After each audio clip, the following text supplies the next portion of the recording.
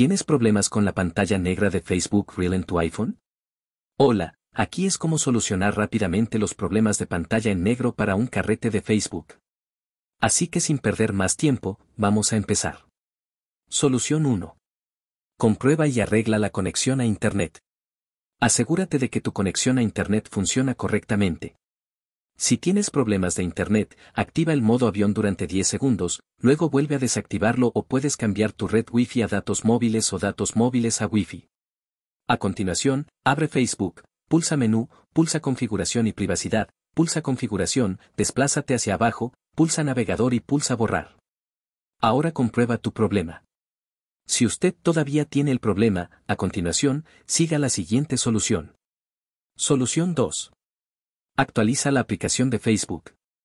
Actualiza la aplicación de Facebook. Abre la tienda de aplicaciones, escribe Facebook, ahora si encuentras alguna actualización, entonces por favor actualiza la aplicación, pero si no encuentras ninguna actualización, entonces pasa a la solución 3.